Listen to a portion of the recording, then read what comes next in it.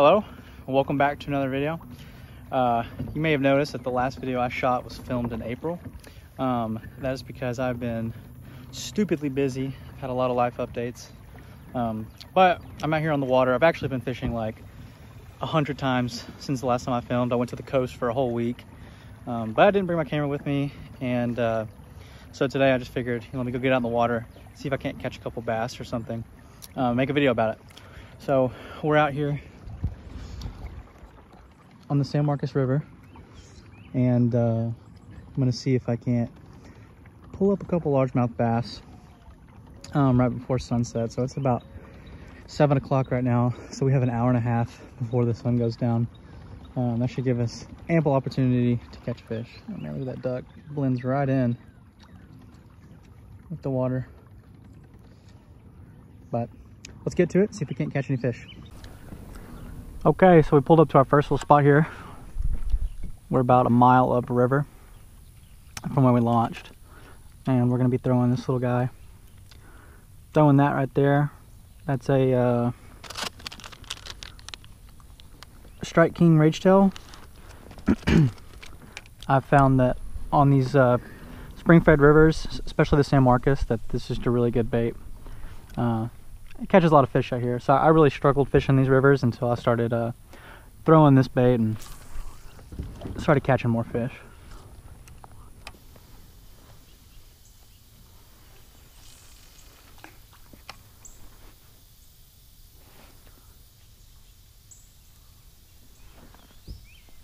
Oh, that was a hit. Dang, I'm trash. Just missed that fish.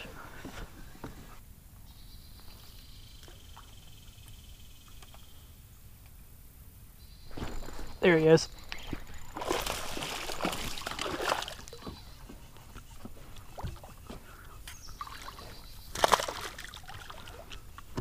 I knew I was going to catch something off that log. There was no way that I didn't. It was just too juicy. Just caught this guy off a little rage tail. Um, he was hiding over on that log over there. So we got us one. We're gonna let him go.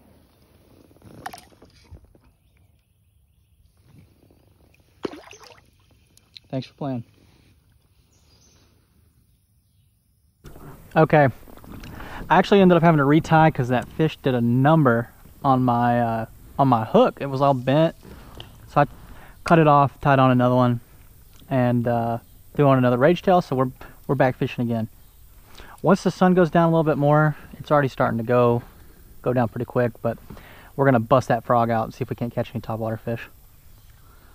But for now, see if we can't pull any more off these elephant tails.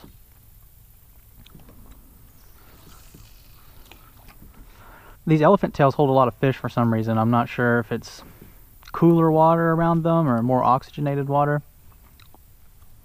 But I always catch more fish around the elephant tails. And in the fall time, that's the only thing I fish is around these elephant tails, and I'll just catch bass all day long.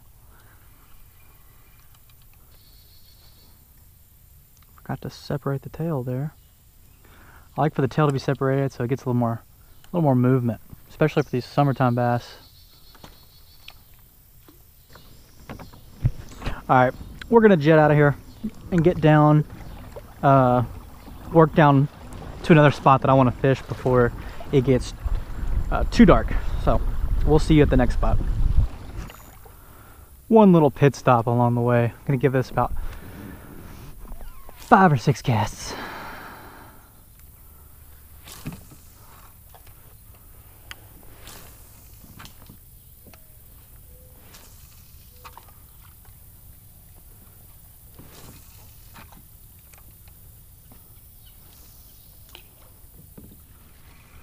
All right.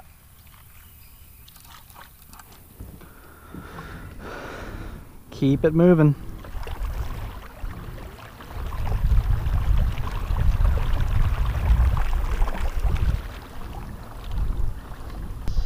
We have arrived.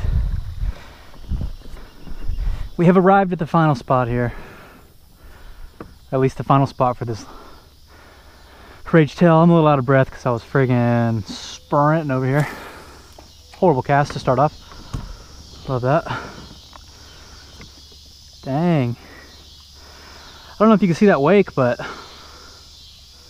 that's for me.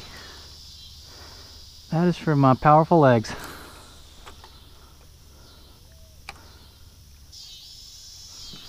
Okay.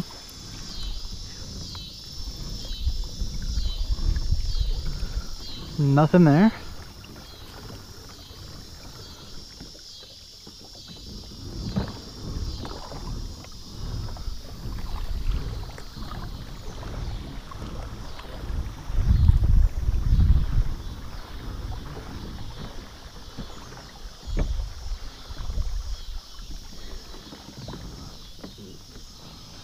Oh, this is the juicier one here, here. Forgot. Totally forgot.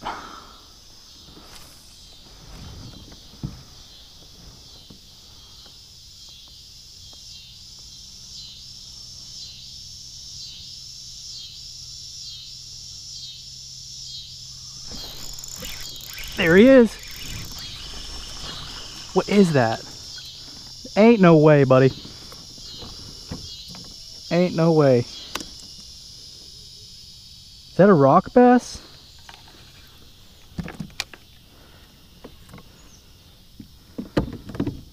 This, okay, that's a rock bass. For a second I thought that was a bluegill and I was about to, I was about to be dumbfounded because that's a big old sunfish if it was, but caught me a little uh, warmouth there or a rock bass. I'm not sure what the official name is for it. Uh, if you do know, go ahead and leave it down in the comments. For a second, I thought it was like a bluegill, and I thought it was the biggest bluegill in the world, but uh, it was not. So we'll go ahead and let this guy go. Adios, friend. He took a little slow takeoff there, but caught him over there on that little, uh, I don't know what that is. It's just where cattle come in to drink out of the river, but uh, once again, elephant ears and then shallow water. I don't know what it is, but they just tend to hang out in those spots on the San Marcos River. Let's keep fishing. Okay, so I told you that was the juicier of the two little troughs. But I kind of am hoping to catch a bass. Sometimes big bass hang out on these things. Okie doke roll over to these over here.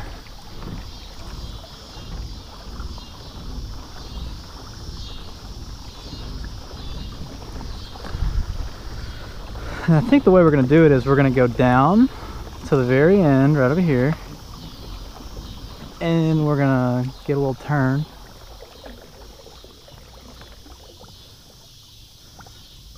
And we're just going to cast over to these elephant ears and work our way up to the very end of that row there and that'll be it for the for the rage tail. Then we'll get after the frog because it'll be dark by then.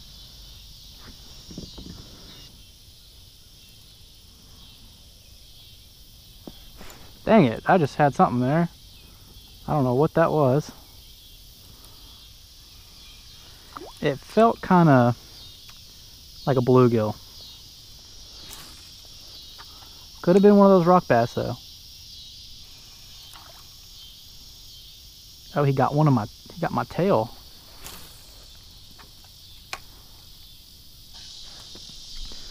Thing ate my tail off there. So I'm gonna go ahead and change that out real quick.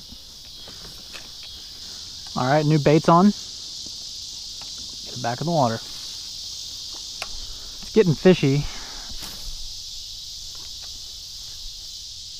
I'd be surprised if I didn't catch one soon.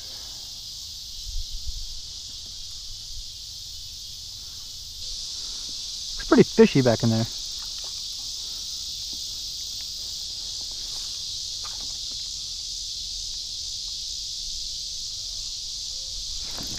That's because it is fishy. Let's go.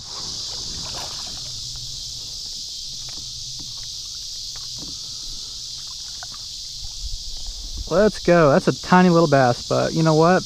I'll take it. Better than no bass.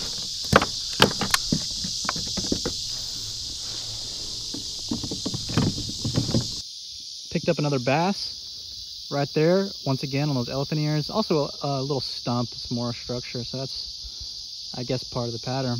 But awesome. We're to get this guy back in the water. There he goes. See if we can't pull out yet one more. I told y'all that looked fishy. But does it have two fish on it? Possibly. Those little bass, man, there's a dime a dozen. And uh, they just, they barely tap the lure. And then, you know, you, you don't even know if you have one on. You're like, is that a fish? Am I bumping up against a stump?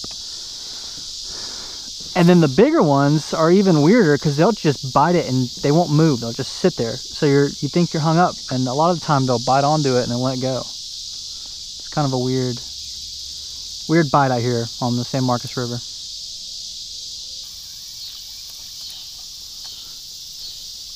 All right, let's jump down to another spot here.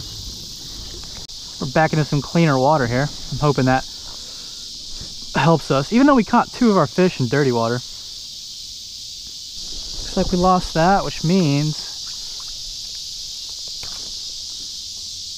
it's time to go to the topwater frog, which is kind of what I wanted to do anyway. I do think a fish took me into that, but who knows? Not me. Okay, I got the topwater frog on. I just lost my um, rage tail. Oh, and right into the bushes for the first cast. Yeah, lost my rage tail, unfortunately. It's okay, because I got about a hundred of them. Hundred more where that came from. This is kind of exciting because I haven't worked a frog in uh, honestly probably a year. No, that's not true. Since last fall, which is almost a year, but I just have been doing a lot of catfishing. And I haven't really been bass fishing. Actually, this is probably the first time I've been bass fishing in a minute. Man, walking a frog is just... Exciting because you just don't know if something's going to blow up on it or... Or what.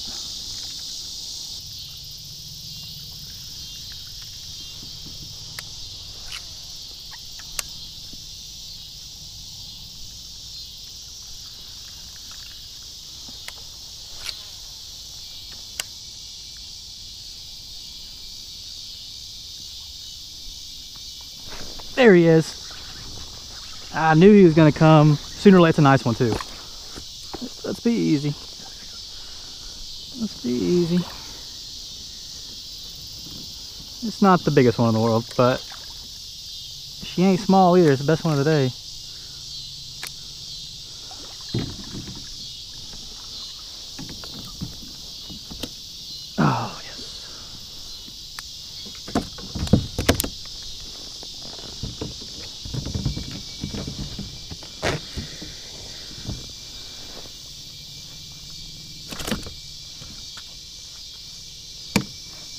That's a pretty good one. All right, we were throwing that topwater frog and we snagged a two pounder. Got him right over there. Uh, once again off the elephant ears, but nice subtle take. It wasn't anything crazy. Um, there's the frog we were using. Not a very big one. Um, kind of a subtle approach, but he ate it hard. So let's go ahead and let this guy go. See if he'll jump out of here. There we go. See you later, dude. I think we might have time to try to catch one more. So I'm gonna make a couple more casts and see what happens. It's really getting dark now. We just caught that last fish, so I'm kind of just making a last ditch effort to see if we can't catch one more. Oh my lord. Oh goodness. I know one more little spot up here that I'll try. And then we're gonna have to go.